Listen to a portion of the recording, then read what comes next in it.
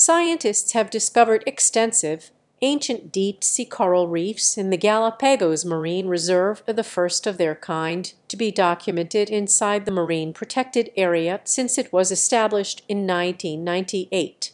The reefs, found at a depth of 400 600 meters 1310 1970 feet, are at the summit of a previously unmapped seamount in the central part of the archipelago and, said the researchers, support a breathtaking mix of deep marine life. Daniel Fornari, a marine geologist at the Woods Hole Oceanographic Institution, is a co-lead of the U.S.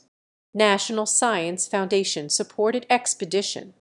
The expedition includes scientists at Boise State University and is in collaboration with the Galapagos National Park Directorate Charles Darwin Foundation and the Ecuadorian, Navy's Oceanographic and Antarctic Institute.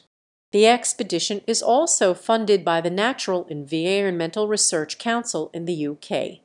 Gail Christeson, a program director in NSF Division of Ocean Sciences, said, The discovery of this new and healthy reef illustrates the importance of international collaborations to map and image unexplored regions of the seafloor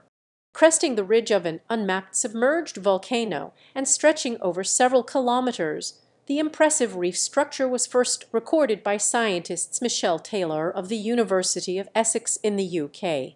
and Stuart Banks of the Charles Darwin Foundation in Ecuador while diving in the human-occupied vehicle Alvin.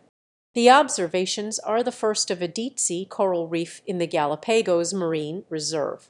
Alvin recently completed upgrades that included improved high-quality still and ultra-high-definition 4K video imaging systems, as well as enhanced sampling capabilities, which allowed for stunningly clear video of the newly discovered reef sites, as well as the delicate sampling of the reefs required.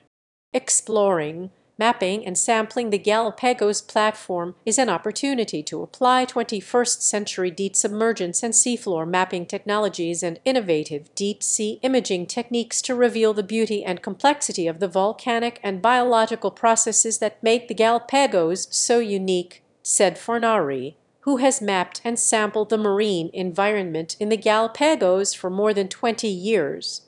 Commenting on the discovery, the Minister of Environment of Ecuador, José Antonio Davalos, said, This is encouraging news. It reaffirms our determination to establish new marine protected areas in Ecuador and to continue promoting the creation of a regional marine protected area in the eastern tropical Pacific. The richness of the depths of our as yet unexplored ocean is another reason to strive toward achieving the commitments of the Global Ocean Alliance 30x30, which aims to protect at least 30% of the world's oceans by 2030, aligning sustainable economic activities with conservation.